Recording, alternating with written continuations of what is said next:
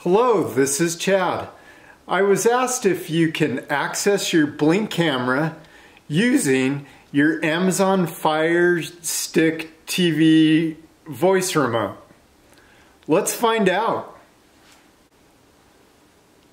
I'm gonna push the microphone on my voice remote. Show me the backyard Blink camera. Okay.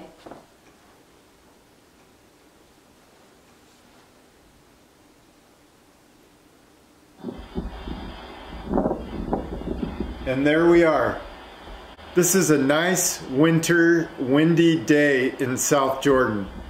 To set this up, you need to click on the Amazon Alexa app and then go up to the top and click on the menu, top left, and then go down to skills. And we're going to search on skills, so we're going to hit the magnifying glass at the top. Next we're going to type in blink.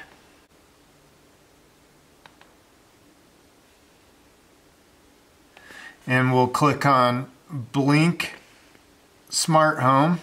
And then we'll go ahead and click on blink smart home and click on enable to use.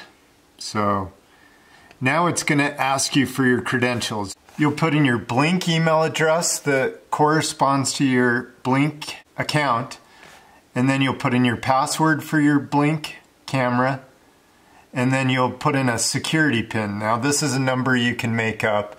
It's just so you can uh, enable or disable your cameras from recording. And just hit sign in, and you're good to go. Thank you for watching, and please subscribe.